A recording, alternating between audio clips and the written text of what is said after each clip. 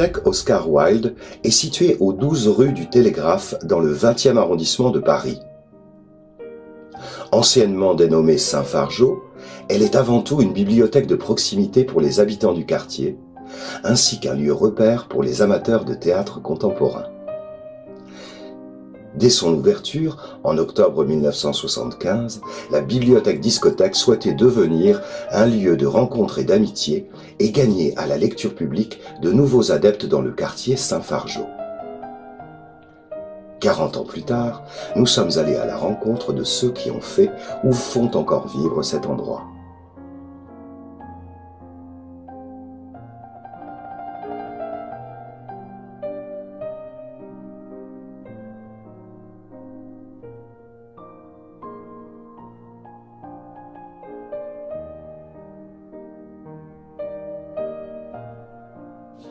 Est-ce que vous pouvez nous dire à quelle époque vous avez travaillé à la bibliothèque? Euh, J'ai commencé en 75, D'accord. mais je me suis, je souviens plus quand je suis partie.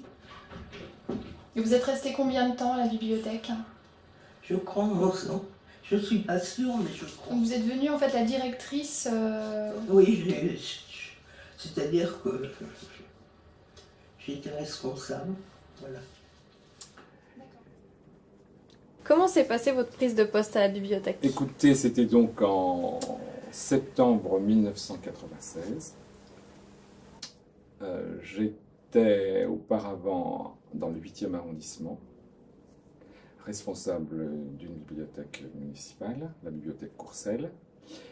Et euh, lors d'un entretien de notation annuel, euh, l'adjoint au chef du bureau de l'époque qui m'avait reçu m'avait euh, proposé euh, ou m'avait sollicité pour éventuellement prendre la direction de la bibliothèque euh, Saint-Fargeau. Qu'est-ce que vous faisiez à la bibliothèque et de quelle année à quelle année vous avez travaillé à la bibliothèque hein? Bah, je vais peut-être remonter un petit peu en, en, a- amont, c'est-à-dire qu'en fait, moi j'ai commencé à travailler en, en 71 à la bibliothèque glaciaire. Si je le cite, c'est parce que j'ai travaillé justement avec Madame Delvaux qui va faire la préfiguration de la bibliothèque Saint-Fargeau après. Et puis parce que glacière, c'était vraiment le début de, de nouvelles bibliothèques, de bibliothèques à trois sections. C'était vraiment la première. On est en 71 c'est l'éclosion un peu de la lecture publique sous l'impulsion d'une politique de littérature avec euh, aussi quand même Pompidou a joué un rôle. Et donc euh, on est dans, une, vraiment une, nouvelle façon de concevoir les bibliothèques à Paris. Et Glacière va être la première. Saint-Fargeau, c'était la, seule bibliothèque du 20e. Ah, s'il y avait Sorbier pour la jeunesse. D'accord. Donc les gens savaient qu'il fallait aller à cette bibliothèque euh, Oui, si c'était dans le il 20e. venait du 20, de, de Gambetta même. Mais Et donc j'ai pris mes fonctions le 17 septembre 1996, euh, succédant directement à mon prédécesseur qui était parti la veille. Je connaissais déjà cette bibliothèque un peu en tant que lecteur, puisque j'avais dû la fréquenter euh, dans les années 88-89, je crois, un peu. Et lorsque je suis arrivé dans cette bibliothèque, donc euh, avec l'étiquette euh, de responsable, je me suis dit que c'était pas gagné d'avance. donc il fallait des bibliothèques de proximité un peu disséminées dans l'ensemble de, de- de Paris. Et c'est là qu'est né le schéma directeur. Il y a eu une éclosion de bibliothèques type donc de, de Saint-Fargeau, mais il y a eu aussi la bibliothèque Saint-Éloi. Il y a eu euh, Couronne, enfin bon, ça a été les premières, puis il y en a eu d'autres qui ont suivi pour répondre à ce besoin. Vous étiez combien à travailler à la bibliothèque? Combien de personnes? Ah, on était assez nombreux. Parce qu'il y avait la discothèque, elle y est peut-être toujours, il y avait l'enfantine. Alors la discothèque, c'était Laurence Vessier qui la tenait. Euh, la bibliothèque enfantine, c'était Anne Traverse. En fait, j'étais peut-être la moins diplômée de... Et j'étais la responsable. Mais ça, c'est un effet de, de la Euh, vie. Quand est-ce que vous êtes venu à la bibliothèque pour la première fois En quelle année? Eh ben, la première fois que je suis venu à la bibliothèque, c'était à l'ouverture. Ça devait être en 1975, je pense, puisque je suis arrivé pour habiter dans le bâtiment en 74 et on a su petit à petit qu'il allait y avoir une bibliothèque en bas de chez nous et que c'était très, très intéressant de pouvoir avoir des livres à portée de, de chez soi. Quoi. Et que vous êtes vraiment le premier. Oui, j'avais ma carte euh, que j'ai rapportée il y a quelques temps avec, euh, je sais pas s'il y avait 3 ou 4 zéros devant, puis il y avait un petit 1 derrière, parce que j'avais attendu justement l'ouverture pour, euh, pour être le premier. Pour, euh, Vous vouliez être le premier. euh, Bah, c'est pas, c'est pas que je voulais, mais bon, ça m'a, fait plaisir d'être le premier et de faire l'inauguration de, de l'ouverture de la bibliothèque. D'accord. Est-ce que vous pouvez me dire quel était votre poste à la bibliothèque, euh, Oscar Wilde, et euh, dans quelle période vous avez travaillé à la bibliothèque? Donc, J'étais euh, responsable de la section jeunesse de 2008 à 2011. D'accord. Et en quoi consistait votre travail à la bibliothèque? Si vous deviez expliquer votre poste à quelqu'un qui n'est pas bibliothécaire, en quoi euh, ça consistait? Donc ça consistait à entretenir et développer les partenariats qui étaient déjà en cours. On a beaucoup travaillé avec les écoles primaires et maternelles euh, du quartier puisqu'on recevait, euh, on avait pratiquement euh, 40 rendez-vous euh, dans l'année, il me semble. Alors on accueillait donc trois crèches du quartier. avec lesquelles on a, on a développé des liens étroits, puisqu'après, pour les premières rencontres, on se déplaçait à la crèche.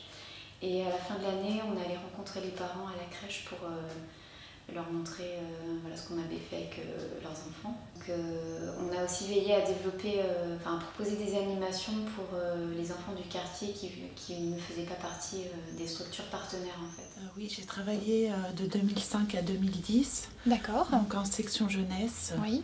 Et donc, euh, je- j'ai pris un peu euh, la direction de, de la section jeunesse pendant trois mois. On, a fait des BHLM avec euh, des bénévoles. Euh, euh, on a développé beaucoup les accueils de classe. J'ai développé des relations avec les professeurs, avec les enfants. Et ça a été une très bonne expérience pour moi. Donc les, bibliothécaires vont dans les parcs à proximité de la bibliothèque pour lire des histoires aux enfants avec l'aide des lectrices de Lire à Paris. Euh, parfois elles n'étaient pas forcément disponibles, mais euh, durant l'été, euh, elles venaient quand même voilà, régulièrement.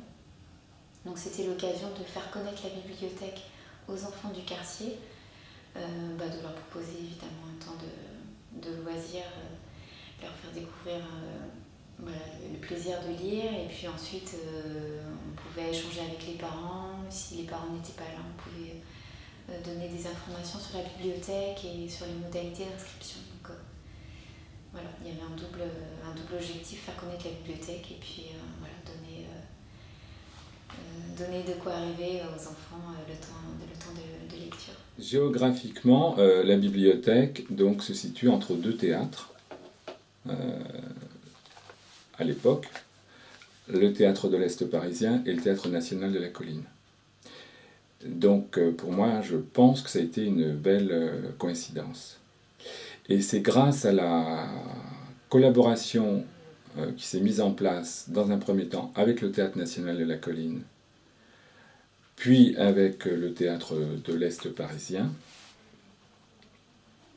Donc grâce à ces deux partenariats, que l'idée de créer un fonds théâtre dans la bibliothèque Saint-Fargeau s'est réalisé. Chaque année, euh, après avoir assisté à chaque euh, représentation de saison du théâtre, euh, on, on pouvait mettre déjà un calendrier avec des dates. Euh, par exemple, avec le théâtre de l'Est parisien, pendant huit ans, on a pu avoir euh, cinq euh, rencontres euh, par an pour le théâtre euh, adulte et euh, trois rencontres par an pour le théâtre jeune public. Et je dirais le dernier point qui est un point tout de même très important, c'est euh, ma femme m'a fait découvrir le théâtre Donc je suis devenu, il a fallu du temps, mais je suis devenu un, fan de théâtre. On va beaucoup au théâtre, on va beaucoup à la colline, on va beaucoup dans différents théâtres parisiens, on a des abonnements. Et c'est vrai que l'ancien directeur qui était ici était très théâtre. Et moi, je sais que le fait de le voir, de le rencontrer, de discuter avec lui, fait que ça a toujours été quelque chose euh, d'extrêmement sympathique. Je veux dire, bon, il avait, bon, d'autres gens aussi, mais il avait cette chaleur d'accueil qui faisait que, bon, euh, moi j'arrivais, il me disait, tiens, qu'est-ce que vous avez vu? On en discutait. C'était quelque chose d'important. Et je dirais en particulier, euh, toutes ces rencontres qu'il a fait le samedi après-midi à 15h, là, bon, je sais que je n'ai pas pu venir à toutes, mais globalement, euh, celles auxquelles j'ai pu venir m'ont vraiment intéressé. vraiment, c'était euh, c'est un espace, c'est un lieu, je trouve que c'est important et je pense que ça va être euh, prolongé parce que c'est quelque chose d'important. Et puis, cerise sur le gâteau, ce que j'aime beaucoup, ça c'était le fait de Yves précédemment, je pense que ça reprendra, ce sont les animations du, du samedi après-midi autour du théâtre. C'est-à-dire le fait de faire venir metteurs en scène, comédiens, y compris des fois les gens célèbres. On a eu euh, Stéphane Braunschweig qui est venu, d'autres comme ça. Donc ça, c'est des choses qui m'ont beaucoup. Alors en 2007, à la sortie de mon livre euh, Provenance du ZEP ordinaire, euh, j'en ai parlé, j'ai parlé de mon livre à M. Sartio, qui est parti, et, c'est une personne pour qui j'ai énormément d'estime et de respect. Alors il a fait une soirée magnifique, sublime pour moi, il y avait un monde fou, et après il y avait bien sûr euh, le verre d'amitié. Et c'est vrai, même avant, euh, j'avais de bonnes relations et depuis, j'ai des relations encore beaucoup plus étroites avec, euh, avec la médiathèque Oscar Wilde de mon quartier. Dans le cadre du changement de nom des bibliothèques de la ville de Paris, j'avais été sollicité une première fois par le maire adjoint de la culture, Christophe Girard. Ça devait être en janvier 2010. Et puis euh, le temps a passé et un an après, le maire adjoint à la culture de la mairie du 20e est venu à nouveau me voir pour me demander si j'avais choisi un nom. Donc spontanément j'ai dit Oscar Wilde. Et puis voilà euh, l'histoire. D'accord. Qui ensuite a été validée par le Conseil de Paris au mois de mai 2011 euh, et puis euh, le 25 novembre de la même année, euh, le changement de nom officiel. Et pourquoi Oscar Wilde? Alors pourquoi Oscar Wilde? Eh bien, il y avait eu au cours des années plusieurs animations autour d'Oscar Wilde, à la suite de nouvelles traductions de ses pièces c'était déjà un, atout. Le second, c'est qu'il est enterré au cimetière du Père-Lachaise, dans le 20e arrondissement. Oscar Wilde est toujours joué dans les théâtres de Paris. Il a vécu les deux dernières années de sa vie à Paris. Et puis euh, son nom est très connu. Euh, que ce soit en matière de théâtre ou pour son unique roman, euh, Le portrait de Dorian Gray. Donc ça fera bientôt dix mois que je réalise le portage de livres au sein de la bibliothèque. Donc je me déplace chez les personnes âgées, les personnes handicapées pour leur amener des livres et puis vraiment renouer le lien, je vais dire, avec les personnes isolées. Donc voilà, c'est une expérience qui a été très enrichissante. C'est vrai que ça m'a permis vraiment de m'ouvrir aux autres, euh, de discuter plus, d'aller vraiment vers les gens. Et euh, voilà, donc c'est oui, ça a été bénéfique.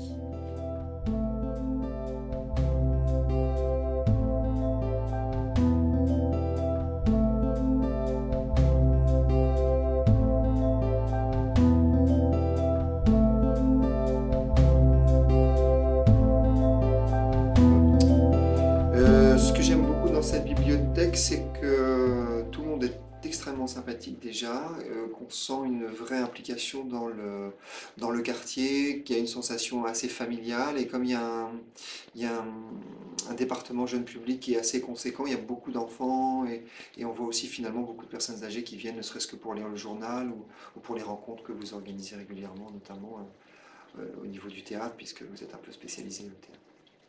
Donc c'est ça qui est sympathique, c'est ce brassage comme ça, vraiment euh, multigénérationnel. Pourquoi venez-vous dans cette bibliothèque en particulier? Alors pour une raison très très simple, c'est à côté de chez moi et euh, c'est une bibliothèque spécialisée dans le théâtre. Et comme euh, j'adore le théâtre, pour moi ça a été une chance formidable d'avoir à côté de moi une bibliothèque. Et depuis ma cessation d'activité professionnelle, je fréquentais beaucoup le monde du spectacle. J'allais au spectacle et j'allais surtout au théâtre. Euh, je m'intéressais aussi à la philosophie, à la musique et à la poésie. Et j'ai fréquenté la bibliothèque Saint-Fargeau beaucoup pour euh, les propositions, les rencontres avec euh, des auteurs. Il y en avait même en résidence comme euh, avec euh, le théâtre de l'Est parisien qui venait s'installer ici, qui écrivait sur place. Donc on pouvait les voir de façon régulière, euh, quotidienne, et pas seulement un samedi après-midi pour une rencontre ponctuelle. Donc assister à ces lectures, y compris par les bibliothécaires, mais aussi des présentations d'œuvres, d'auteurs, c'était quelque chose qui, qui me passionnait et, et donc, je fréquentais régulièrement la, bibliothèque euh, Saint-Fargeau pour euh, ces raisons-là. Mais je fréquentais le réseau aussi dans le domaine de la poésie, de la chanson, de la, musique, euh, du, cinéma, parce que j'aimais les, rencontres avec le monde du spectacle, le monde des idées, le monde, les mondes de, tous les rêves. Ah, j'aime beaucoup de choses dans cette bibliothèque. Je ne veux pas vous faire que des compliments, mais j'aime beaucoup de choses.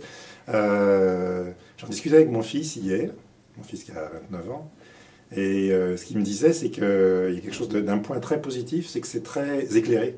Moi, j'avais jamais pensé à ça, mais il me dit, mais t'imagines pas, il y a beaucoup de bibliothèques à Paris, en fait, euh, c'est plutôt dans des sous-sols, c'est plutôt dans des lieux, euh, et là, c'est vrai que c'est très clair, et c'est bon. C'est un point auquel j'avais pas du tout pensé, mais j'en ai parlé avec lui, il m'a dit ça. moi, il y a, un point, bon, le point fondamental, c'est que moi, je suis très musique.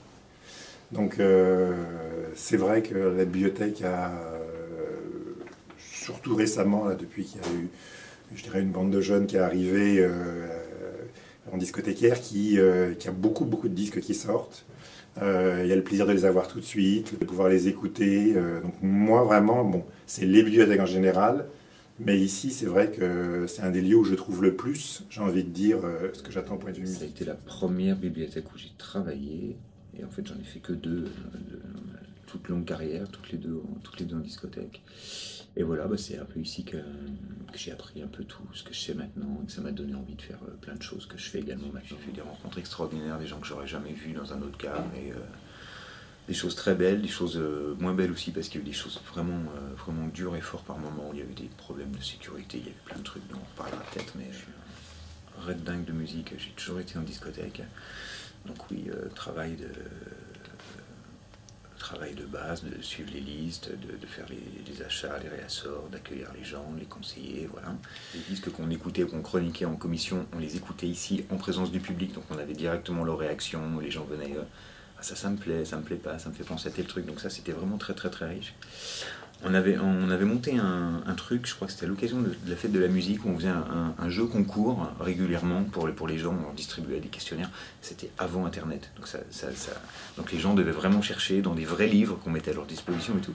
Et à cette occasion, on voyait vraiment des publics très très différents, des familles, des, personnes âgées, des, des chômeurs, de tout ce qu'on voulait et tout. Et ça se mélangeait vraiment beaucoup, beaucoup. Et ça a été à nouveau l'occasion de, très très belles rencontres. Et on a fait des fêtes ici justement avec les gens, avec le public, euh, des ballons partout, des enfants qui couraient dans tous les coins. Voilà, un vrai truc vraiment vivant, un vrai... Euh, hmm, des fêtes autour de la musique du coup avec... C'était à l'occurrence pour la fête de la musique, on faisait ce, petit jeu concours, et puis à la programmation des la proclamation des résultats, les gens venaient, ils découvraient ce qu'ils avaient gagné, il y avait un truc un peu, un peu kermesse autour de la musique et de la culture au, au sens large. Quoi. Ça c'était assez chouette c'est d'un coup, tout me remonte, c'est incroyable. Un, lecteur ici qui était fan de blues et qui était postier à la poste juste à 50 mètres d'ici et qu'on a fini par intégrer dans les, comités d'écoute, tellement c'était une pointure. Je crois qu'il est en retraite et je crois qu'il est en Normandie. voilà, s'il voit ce film un jour, je fais un petit coucou, il se reconnaîtra. Mais voilà, donc il y avait des trucs qui se mettaient en place comme ça, de, qui, qui dépassait un peu les barrières euh, bibliothécaires publiques. euh, ça, c'est vraiment très très fort. Ça. Oui. Il y a des gens qui, qui repèrent un disque euh, sur le catalogue et qui sont prêts à traverser tout Paris pour aller le chercher, voilà, et, et pas forcément justement à le télécharger parce que parce qu'il y a le côté disque, il y a le côté livret, il y a le côté objet, il y a le côté connaissance, échange avec les discothécaires. Et l'avantage qu'il y avait ici, qu'il y a dans la bibliothèque où je suis aussi, c'est que c'est une banque de presse centrale et ça c'est hyper primordial de voir aussi les gamins le samedi qui arrivent en ribambelle, euh, les, les lecteurs et tout. Donc ça c'est vraiment très très important.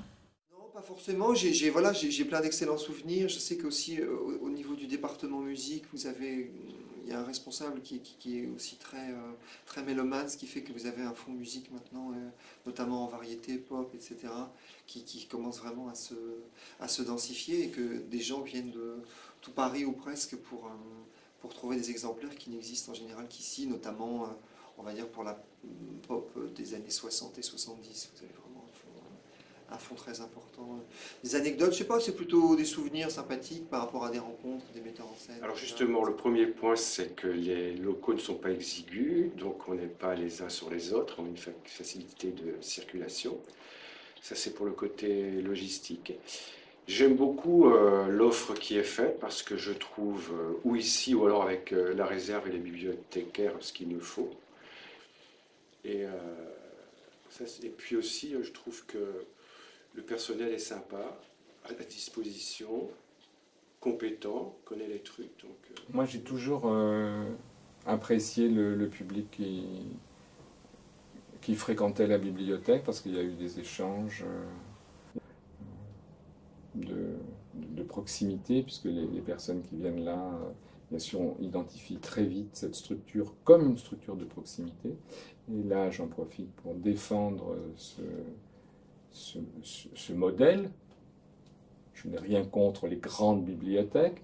Euh, il faut trouver à l'intérieur d'un maillage à la fois euh, des médiathèques, mais pas au détriment de la fermeture d'établissements comme celui-ci qui joue tout à fait un rôle important euh, dans, la cité et en l'occurrence euh, dans l'arrondissement. Hein, une bibliothèque, c'est un lieu aussi euh, qui permet de créer du lien social et qui permet à des publics de se rencontrer et puis d'avoir accès aussi aux livres, si on parle livres. Alors, avez-vous des anecdotes en 20 ans à nous raconter Des anecdotes, il y a dû en avoir pas mal, mais je me souviens de la, de- des premiers jours où j'étais arrivé, euh, où une personne est venue, un monsieur est venu avec un cajot d'abricots, et je me suis demandé effectivement ce qu'il cherchait, moi avec ce cajot d'abricots, et il m'a dit, écoutez, voilà, vous voyez, euh, ces beaux abricots, je voudrais faire des confitures, mais je ne sais pas. Avez-vous un livre euh, qui va me permettre de le savoir donc nous lui avons remis, il s'est inscrit, il n'était pas inscrit, nous lui avons remis à la suite de son inscription l'ouvrage en question, il était très content. Il ne nous a pas apporté de pot de confiture.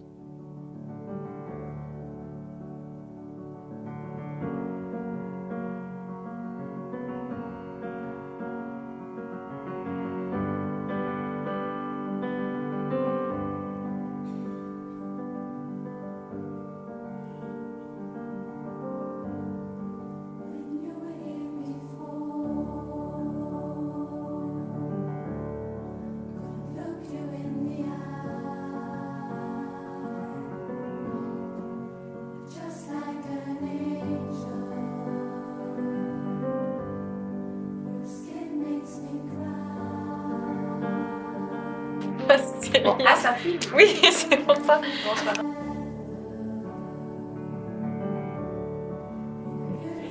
Et euh, donc euh, voilà, j'étais un petit peu. euh, Je, je peux la refaire si tu veux. Oui, vas-y. Oui, d'autant que la porte est ouverte. Ouais, merci. Ah, il attend quelqu'un, il va peut-être repasser par. Mais vas-y. Non, c'est bon, il attend. Voilà, c'est bon. Donc, as-tu une anecdote pour ton année de partage?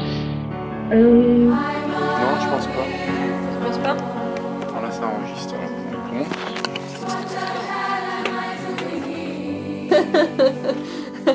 C'est bon. C'est bon? C'est toi. D'accord. On fait un coup pour rien.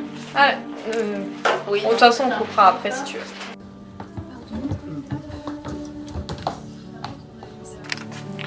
Là, ça tourne. hein. Comme ça?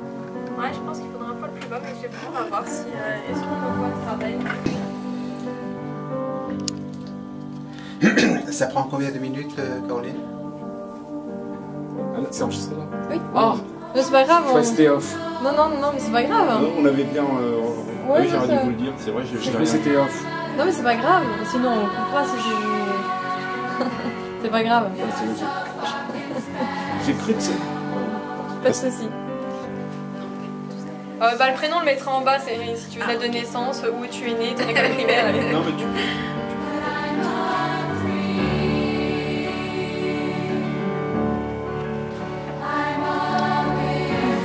Alors, est-ce que je dis bonjour ou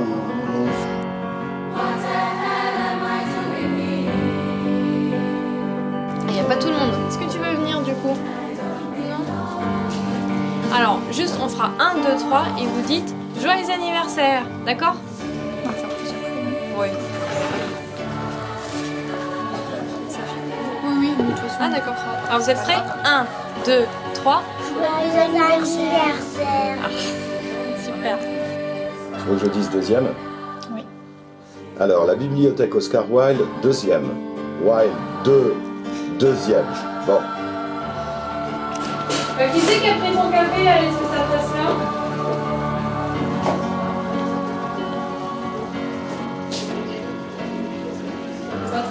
on accueille comme ça. C'est Jean-Marc. On y va. bah non mais du coup, on- j'attends que tu allumes l'autre pour... euh, Non, c'est bon, tu peux y aller. Là ça tourne? Tu vois, ça tourne. D'accord. Ça va vite. Ouais, ça va vite, mais c'était. euh, Ouais. Je sais qu'il m'est arrivé quelque chose de très bizarre. J'ai prêté un, un- un disque, livre, à quelqu'un de la bibliothèque. Ça m'a fait tout bizarre. C'est vraiment très très spécifique, est-ce que le conseil ça va au-delà du coup des collections que des groupes très très spécifiques. D'accord. Je. Et puis s'il y a des gens, vas-y on fait les, les gens. Joyeux anniversaire. Super